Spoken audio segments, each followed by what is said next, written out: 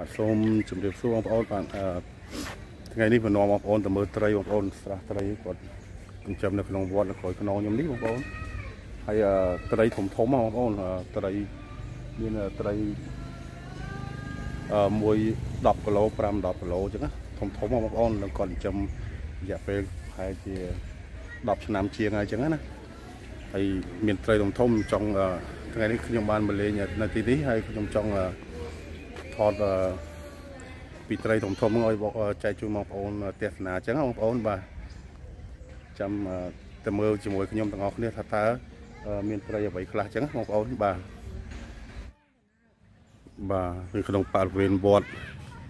មានដើមឈើមលប់ត្រជាក់ល្អបងប្អូននេះមលប់ត្រជាក់ដែលនេះដុះនៅតាមមាត់ស្រះហ្នឹងមានដូចជានេះដើមដើមនេះដើមកងោកបងប្អូននេះដើមកងោក ដើមនេះអឺយូរហើយដើមកងោកនេះយូរហើយតាំងពីណាពីណីមកណាតាំងខ្ញុំនៅតូចតូចមកបាទនេះរឹសក៏រឹសដើមកងោកធំបងប្អូនបាទនេះដើមកងោកនោះនោះផ្លែកងោកនោះផ្លែកងោកបាទផ្លែនេះស្តៀងផ្លែអុញម៉ូនដែរបងប្អូនបាទអឺពាក្យច្រើនអ្នកនៅតាមជនបទ គាត់ស្គាល់ដើមហ្នឹងណាបងប្អូនបាទបើក្មេងៗនៅក្នុងទីក្រុងភាគច្រើនអត់សូវស្គាល់ទេតាមមើលដើមកងោកដុះនៅជុំវិញស្រះទឹកហ្នឹងណាមានមលប់ល្អហើយខ្ញុំអាសាអាសាមកអង្គុយលេងនៅកន្លែងហ្នឹងបងប្អូនជាក់ល្អបាទហើយក៏ឆ្លៀតពេលមកមើលត្រីដាក់ចំណីឲ្យត្រីអញ្ចឹងណាបាទព្រោះត្រីស្រះគាត់ហ្នឹងគាត់ចិញ្ចឹមរបៀបតាមធម្មជាតិណាបងប្អូនបាទ ហើយធំធំណាស់ចាំមើលតិចទៀតខ្ញុំនឹងបង្ហាញបងប្អូនបាទហើយយើងទៅមើលអឺហើយចំណែកក្នុងបរិវេណវត្តមានមលុបត្រជាក់ល្អហើយត្រជាក់ល្អហើយមានដើមឈើច្រើនណាត្រជាក់គួរចង់អង្គុយលេងអញ្ចឹងណាបងប្អូនបាទហើយភាគច្រើនជាបងប្អូនបងប្អូនយើងតាមនៅចិត្តចិត្តហ្នឹងគាត់អាសាមកអង្គុយលេងមកហូបចំណីអាហារនៅក្នុងនោះដោយសារខ្យល់អាកាសបរិសុទ្ធអីចឹងណាបងប្អូនបាទ ហើយនេះដើមនេះបងប្អូនស្គាល់ដើមនេះបងប្អូននេះដើមអីគេបងប្អូនមិនដឹងជួយប្រាប់ផងខ្ញុំអត់ដឹងថាដើមអីដែរនេះឃើញឃើញស្លឹកចម្លែកខ្ញុំអត់ដឹងថាដើមអីដែរព្រោះខ្ញុំអត់ឃើញគាត់ចម្លែកចឹងបងប្អូនបាទ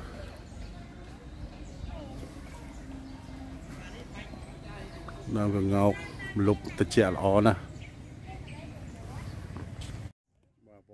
នេះក៏គេហៅវត្តចំពោះក្អែកបងប្អូនបាទដែល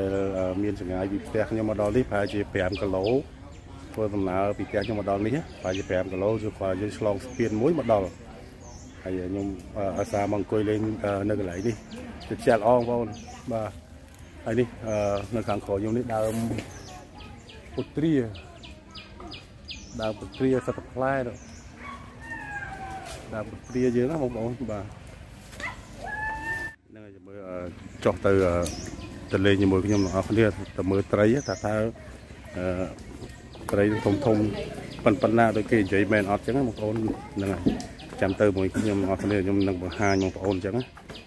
បាទ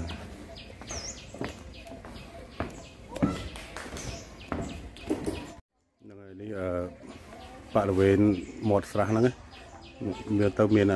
ខ្យល់អាកាសត្រជាក់ល្អ មានដើមឈើមានអីចឹងធំធំហើយកន្លែងនេះខ្ចោះសម្រាប់យើងអង្គុយលេងដើម្បីមើលត្រីចឹងបងប្អូនបាទហើយសម្បូរដើមឈើសម្បូរទៅដោយដើមឈើមិនដឹងដើមដើមអីខ្លះដែរបងប្អូនខ្ញុំអត់សូវស្គាល់ដែរតែដើមនេះធំធំមានដុះយូរហើយដុះតាំងពីវត្តកកើតដំបូងអញ្ចឹងណាបងប្អូនបាទគាត់អភិរក្សបានល្អបាទ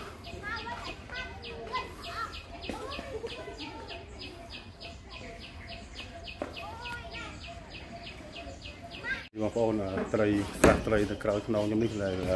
ខ្ញុំចង់បង្ហាញបងប្អូនហ្នឹងថាតើត្រីធំធំបងប្អូនធំធំល្អណាស់បាទហើយ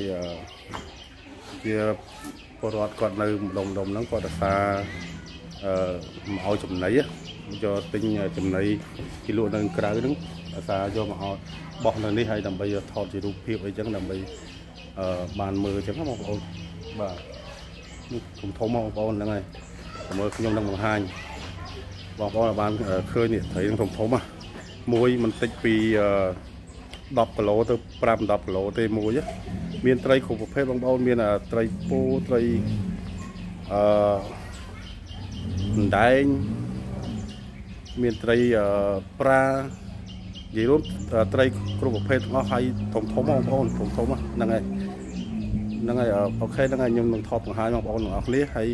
អឺទស្សនាបងប្អូនគ្នាបងប្អូនបាទ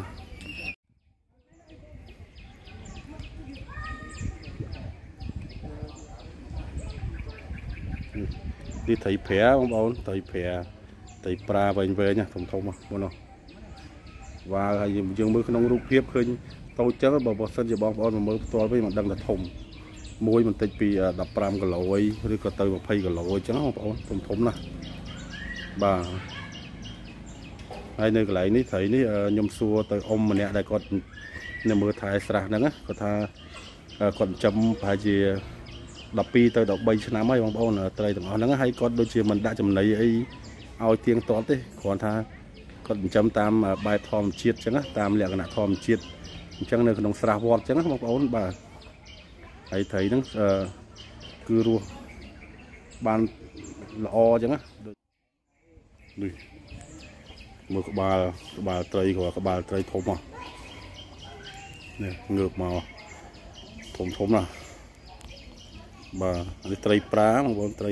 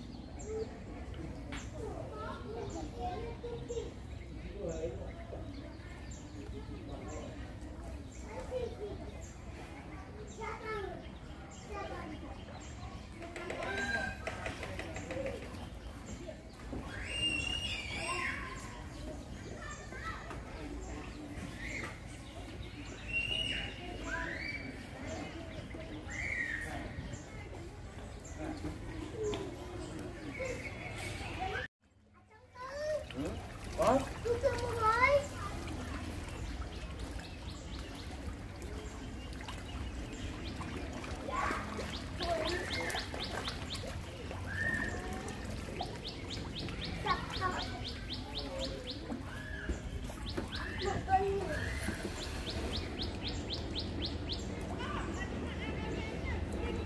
េញតែតែនោះទៅ ណៃដល់នេះទៅបោះនេះបោះនេះឃើញ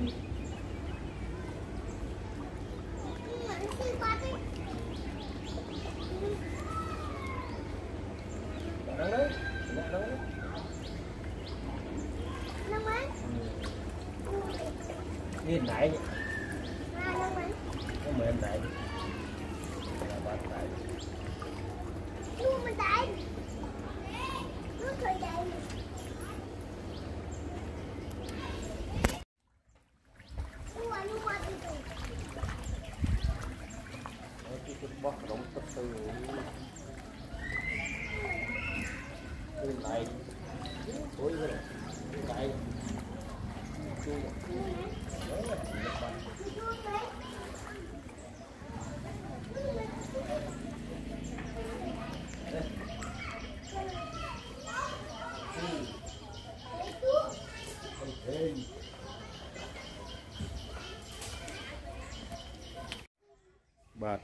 ង្ឃឹមថា